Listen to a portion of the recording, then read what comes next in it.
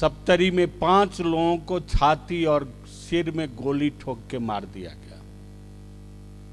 क्या वे नेपाल के जनता नहीं थे? नेपाल के किसी कानून में लिखा हुआ है छाती और सिर में गोली मारने का। अगर नहीं लिखा हुआ है, इसको निषेध किया गया है। तो फिर सरकार को मधेसी का केवल छाती और सिर ही क्यों दिखाई देता है? आज तक जितनी भी मधेश में घटने, घटना हुई है, इससे पहले पाँच दर्जन लोग मारे गए, सबकी अवस्था वही है। और आज भी सब तरह की घटना यही है, सरकार संवेदनशील नहीं है